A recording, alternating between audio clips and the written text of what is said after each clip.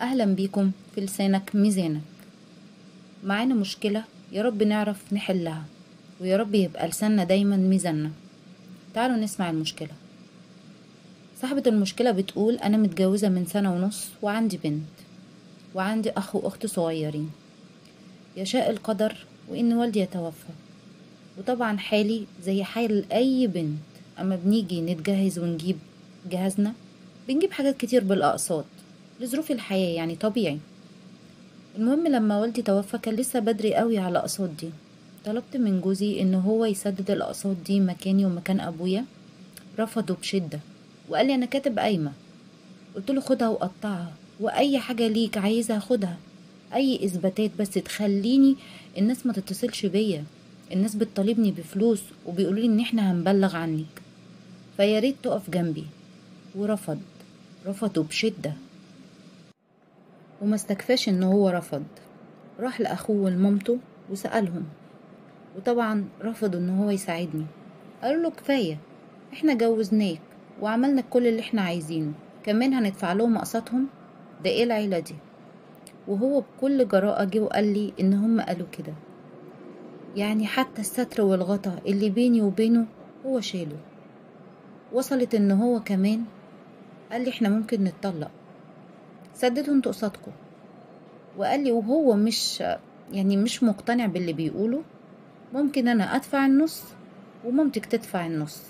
شيلوا حق جهازكم. هو يا جماعة مش الجهاز ده في بيته؟ ولولا وفاة أبويا كنت أنا زماني مفيش أي حاجة دي ظروف واتحطينا فيها. ليه هو حطتني في موقف زي ده؟ أنا مش فاهمة ومش عارفة. أرجوكوا قولولي أتصرف إزاي وأعمل إيه؟ دلوقتي هي واقفة على الطلاق. وللعلم جوزي مقتدر إن هو يساعدني في المحنة اللي أنا فيها دي. بس أنا لحد دلوقتي معاه ومش عارفة أتصرف إزاي. يعني آخد موقف وأتطلق زي ما هو عاوز؟ ولا أسدد أنا الاقساط وأنزل أشتغل؟ ولا أعمل إيه؟ قولولي أنا مش عارفة أتصرف.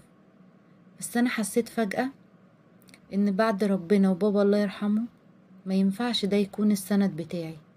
لأن أول حاجة حصلت لي ومشكلة فعلية حصلت لقيته مش واقف جنبي.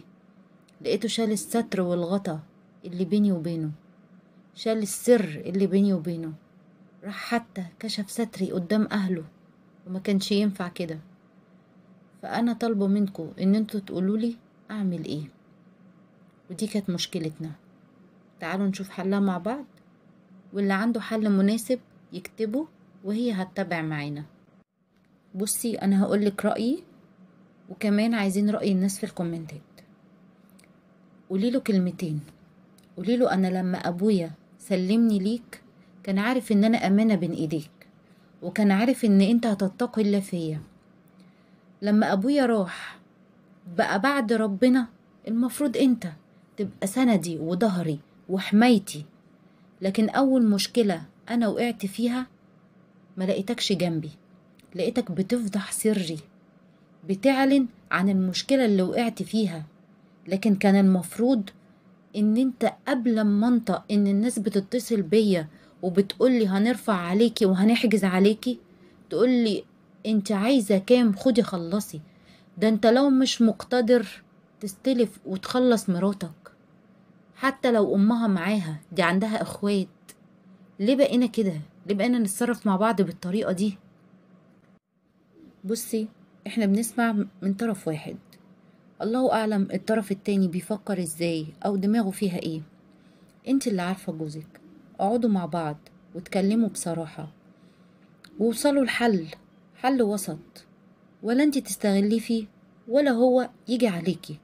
بس شوفي هو بيفكر إزاي. وما تاخديش النصيحة من حد تكون حياته مش سليمة.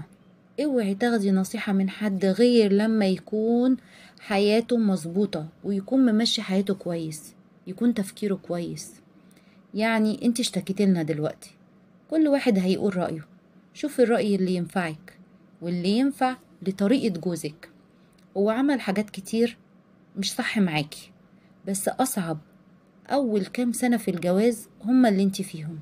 بتعرفوا أطباع بعض بتتعودوا على بعض. وربنا معاكي وإن شاء الله تتحل على خير. ياريت اللي عنده حل لمشكلتنا يتفضل يقولها ويساعدنا. وأستناكم في مشكلة جديدة وكلام جديد في لسانك ميزانك. ولو أول مرة تشوفوا قناتنا ياريت تشتركوا وتكبروا عيلتنا في لسانك ميزانك. وأقول لكم السلام عليكم ورحمة الله وبركاته. كنت معكم إيمي. مع السلامة.